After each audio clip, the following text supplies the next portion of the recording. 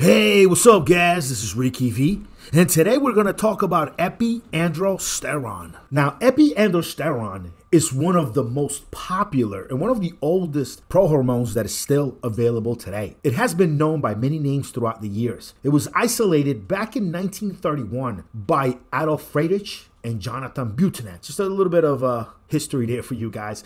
Uh, they distilled over 17,000 liters of male urine, from which they got about 50 milligrams of crystalline androsterone. It was probably not pure, it was most likely mixed with uh, different isomers. It was enough of the material to actually be able to develop a chemical formula for it and have some tests with it uh, to begin uh, to start. You know, epiandrosterone has been shown to naturally occur in the majority of mammals, you know, just everything from humans to dogs to even pigs. This prohormone is naturally produced by the enzyme 5A reductase. Now, I hope you guys have already seen some of our other episodes on 1-DHEA, 4-DHEA, 19-NOR-DHEA, 7-OXO-DHEA. I've discussed all of those in this video series. And Epiandrosterone is naturally occurring when the 5-reductase enzyme turns DHEA into epiandrosterone, which is a little funny uh, little chemistry tidbit to note. DHEA stands for dehydroepiandrosterone and is the 5-reductase enzyme that turns it into epiandrosterone. Now, it's that same 5-reductase enzyme that turns testosterone into DHT, into dehydrotestosterone. So the 5-reductase enzyme has an effect on several different hormones, testosterone, it turns it into dehydrotestosterone. But when you take dehydroepiandrosterone, that same 5-reductase enzyme turns it into epiandrosterone. Now this is a series for the vintage muscle product line. So I'm going to go ahead now and start talking to you about how to actually use the epi epiandrosterone product in the two vintage muscle products that contain it. How you can mix them, put them together, and put them into a stack. Look, guys, there isn't a whole lot that I can really say to convince you that epi epiandrosterone is effective. There are hundreds of supplements out there that contain epiandrosterone as one of the main ingredients. This prohormone has been around for almost 100 years. Uh, 1931, I just said it was identified. And in the meanwhile, it has not been put into legislature as being an illegal product. However, if you do play an organized sport, you know, WADA, Olympic Committee, any of that stuff, and you get popped with epiandrosterone in your system, uh, you're going in for a penalty. It's definitely a known performance enhancer by every major sports organization in the world. And now, for guys like you and me that are just trying to look good with our shirt off, what do we need to do to take advantage of epiandrosterone and all of its anabolic androgenic effects? Well, here's a good place to start. Go to vintage-muscle.com and click on the Buy Now button at the top. This will lead you to the product page. On the very top left, you got the Alpha Test Stack. That is a full stack featuring epiandrosterone as the main anabolic prohormone in that stack. Also, if you look below, the Win Test product. Win Test contains epiandrosterone along with another compound that is very anabolic, very androgenic, and is going to help you cut. I'm going to have a video on that one later. But for today, let's just focus on epiandrosterone and how you can best use it to help you achieve the physique you're looking for. Now, epiandrosterone you want to use while you're cutting. You really want to make that your cutter. You want to use this product anytime you're trying to both hold on to muscle mass as you cut calories down, and also when you're trying to help your caloric burning along. You're trying to help your body utilize stored fat for energy instead of the energy that's in your muscle cells. And epiandrosterone is just a great tool to use towards this end. Epiandrosterone is just one of those prohormones which conversion paths are going to lead it towards some anabolism and androgenic effect. And out of all of the prohormones in the market, epiandrosterone is one that I feel like is kind of misunderstood. It's got several different conversions. It can convert to androsterone to, to 4-adione. Uh, it can convert to 3-B-adiol. It can convert to 7-hydroxy epiandrosterone. And then each of those have conversions down the line.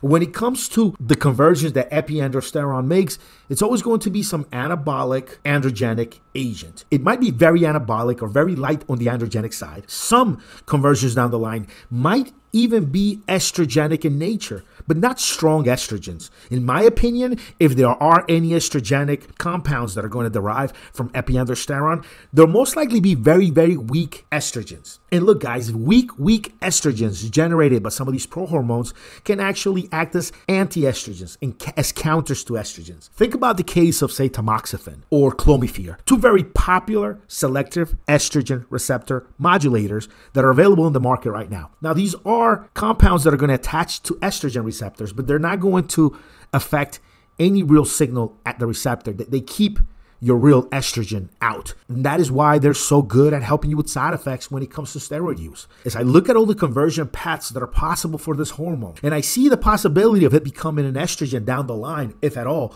is going to be a weaker estrogen It's going to be a weak estrogen that's probably going to compete against your real, your real strong estrogen that comes from testosterone. It's probably going to compete against that for receptor sites. And so this is why epiandrosterone has been regarded as one of the better cutting agents out there, as one of the drying agents out there.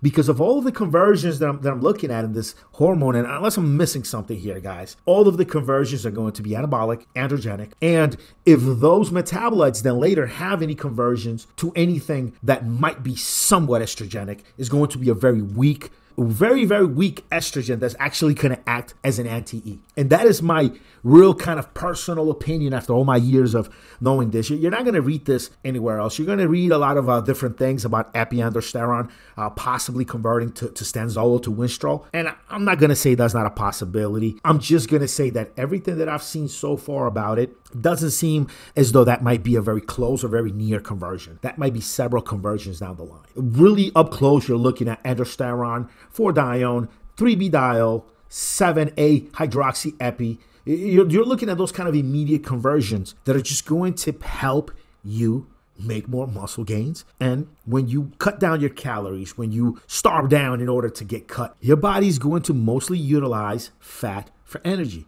and your muscles will be spared. One thing to remember, guys, is when you take something like epiandrosterone from the Vintage Muscle product line, it's completely different than taking some over the counter kind of herbal testosterone booster. These herbs are going to help your testes make more testosterone. That's what over the counter regular herbal testosterone boosters do. When you take epiandrosterone, you're actually adding into your body more of the hormones that you would hope your testes would make from taking an herbal supplement. You're going past the endocrine system. You're not trying to uh, boost your testes to produce something for you. You're just putting it into your body. Epiandrosterone works that way. You're adding exogenous hormones into your body more than your body could make. If you just bought a big stack from the vintage muscle product line and you took it as directed, or maybe stacked two or three different cycles together from the vintage muscle product line, you would in essence be entering, bringing into your body more hormones, more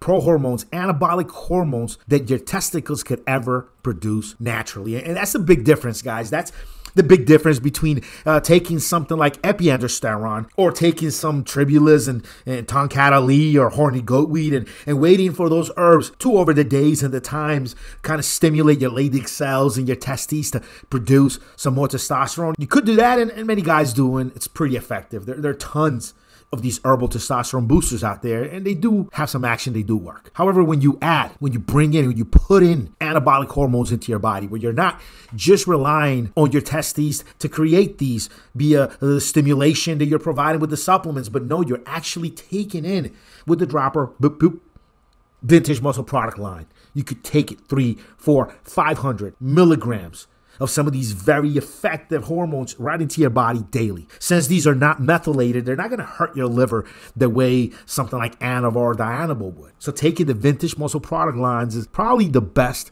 shortcut you can take towards creating the body you really want, making progress faster than natural, uh, getting the body of your dreams. I mean, look, something like epiandrosterone, if you take it in nice doses, maybe uh, you mix it with the one DHEA stack, something like that, if you grab the one DHEA stack, epiandrosterone, and you actually cut your calories way down, you're gonna look way leaner. You're gonna look much leaner than you ever did natural. Veins popping out, striations, everything. You know why? Because the higher levels of hormones that your body's going to have by taking epiandro and 1-DHEA, say in a stack, one of those, it's not going to let your body eat away at muscle mass for calories. It's you're cutting down. Now, if you didn't take any of the vintage muscle products and, and you just dieted down, you could get pretty lean, but you're not going to get ripped shredded. Your body will start to eat away at that muscle mass for energy way quicker, way sooner than you can get into the mid to low single digits in body fat percentage. That's why bodybuilders and any of us that want to get ultra ripped, super ripped, we take exogenous hormones. That way, our body cannot cannibalize on our muscle gains for energy. It'll have to, it'll be forced to use mainly fat storages for energy. That's how bodybuilders get up to 300 pounds at 3 4% body fat for a show. And that is how a lot of Instagram models and, and dudes out there that you think are natural are actually using a little something extra in the hormonal realm, like the vintage muscle products, in order to help you. All right, guys, well, look, that's it for me today. Don't forget to go to the vintage muscle community. Let them know that you're going to pick up the Epiandrosterone stack and ask them what else you can take it with. The vintage muscle community is always there to help.